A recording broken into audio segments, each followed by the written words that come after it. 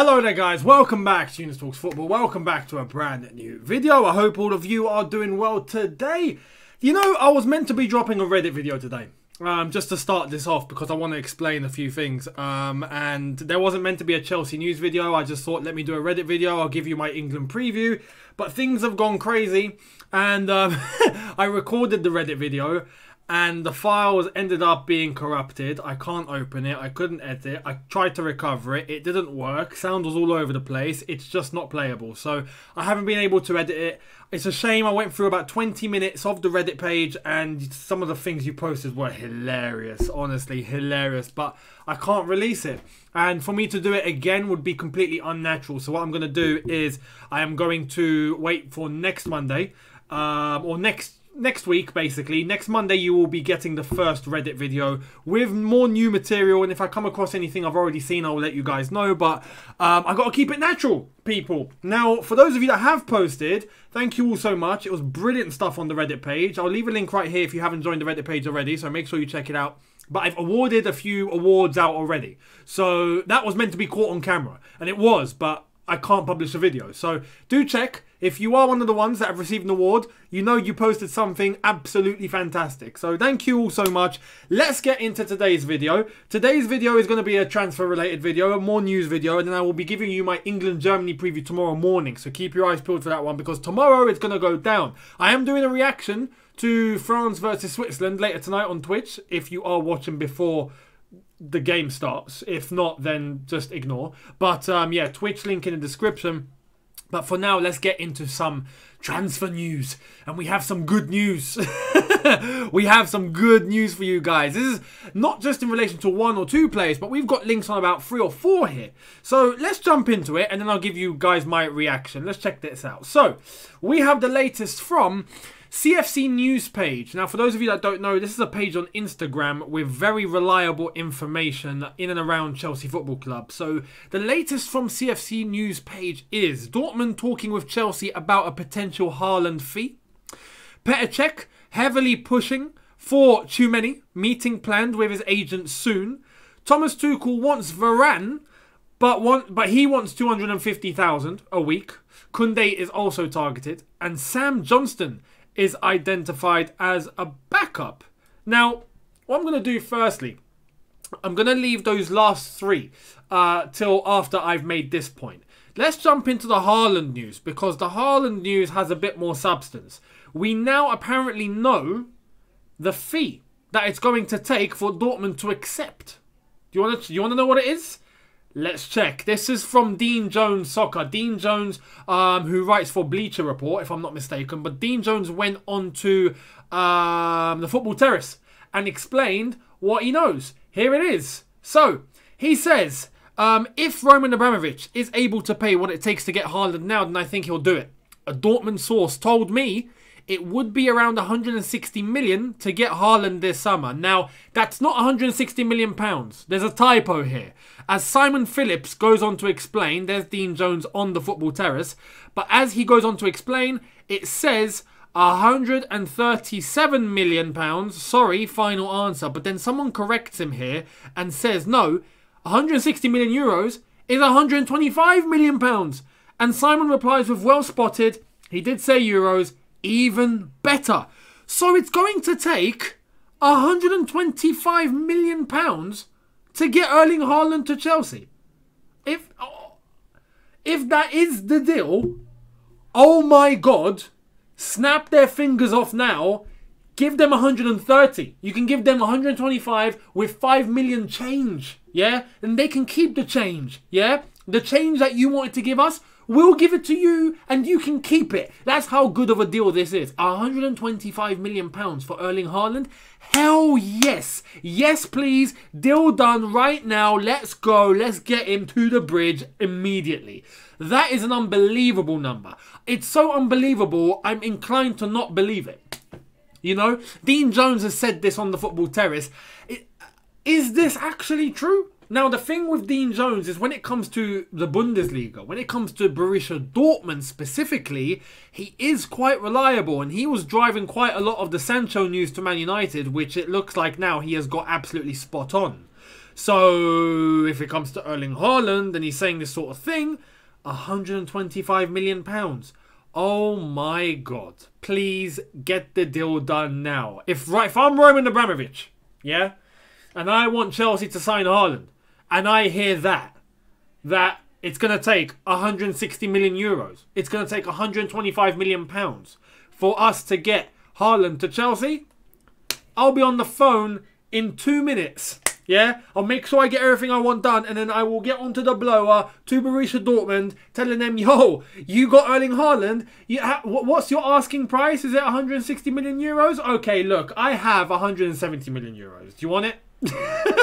Simple. I would give them, as I've said, 125 million with 5 million tips just for the person negotiating at Dortmund. Yeah, here you go. Here's 5 million on me. Have a drink, have a have a dinner on me. Have have a have a I don't know, have a cruise trip away from me. Have have whatever you want. Have a holiday on me. Have whatever you want on me. 5 million tips. Cuz that's how good this is. Now, we'll see what happens but I, as I said in yesterday's video, Chelsea need to get their act together and they need to get it done quick. They need to get it done now. So fingers crossed that is going to happen. Now, the other names that we saw uh, mentioned um, by CFC News page was Cech pushing heavily for Tchouameni. Now that is that is believable. That is something I look at and I go, yeah, you know what? Because those links with Tchouameni came from a little while ago, and there was quite a few people saying, yeah, Chelsea are interested in him as the backup to Declan Rice. And if Declan Rice can't happen, Tchouameni will happen. So I'm inclined to think this is legit, especially with the way that Declan Rice is performing at the Euros, the price tag, all of that. Not to say he's playing badly for, for, for England, he's not, but he's not lighting up the show like I think a few of you expected to. But on top of that, the price tag, it's it's it's starting to look unrealistic if I'm honest. It's starting to look unrealistic. Especially if we're signing Erling Haaland. We're not going to be splashing 80 million on a Declan Rice. I just don't think that's good business when you have an option like Tchouameni that you can get for possibly a third of the price that you can get Declan Rice for. So Tchouameni being pushed heavily by Petr Cech, I understand. If there's a meeting planned with his agent soon, that makes complete sense. And to be honest, we are in the market for a midfielder for someone that is going to come in as a fourth option, I think, with Billy Gilmour going off on loan. You know, Kante, Jorginho, Kovacic. We need one more. I think Tchouameni would be the perfect profile. I think Declan Rice, yes, good player. The one issue with him, not necessarily just the price tag and whatnot, but I think he is someone that expects to be starting every game. When you got Kante, Jorginho, and Kovacic, you can't expect to start every game unless if you are one of the best midfielders in the world. You know, it's just not going to happen. Tchouameni, I think, would come in and be okay with that. And that's why I think this would actually be a good deal because he's a he's a baller, he's a strong lad, he's he's a fast midfielder, and he's someone that I think can slot in quite well in the circumstances that we need him for. So Tchouameni, I think yes, that would be a better deal than Declan Rice at Chelsea FC. Now, the other ones I saw, Tuchel wants Varane, but he wants 250k. I don't think that's happening in the first place.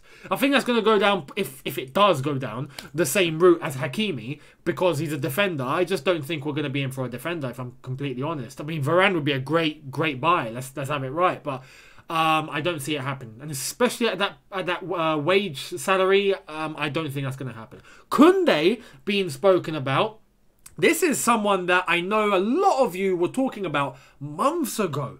And his name was mentioned, Koundé. Koundé. What about Koundé? Um, well, now it looks like there could be an actual link with Koundé. So we'll see what happens. But again, in terms of defenders, it's not a necessity. It's nice to have, but it's not a necessity. We'll see what happens though. Sam Johnstone being identified as the backup.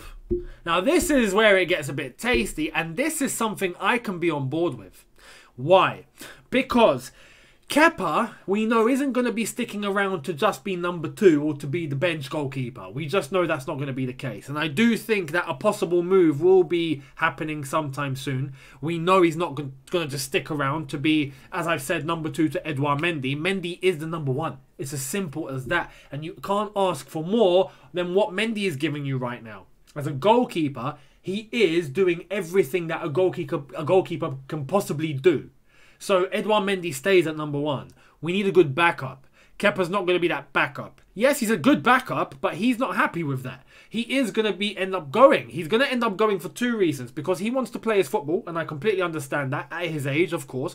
And Chelsea want to try and get as much of the 70 million back as possible. we splashed 71 million on this guy. It's logical that Chelsea want to try and get as much money back as possible. So we need him to play. We need him to be wanted. We need him to possibly go on a loan with a move, possibly of a permanent. You know, we'll see. If a permanent deal can be done, cool. But we have to try and up his value a little bit. And a loan move will probably be the best deal. Now, if that happens, we need a backup. Sam Johnstone would fit that breed. England international now. You know, yes, he's been called up. He's not going to play, but he's been called up. Um, Premier League experience.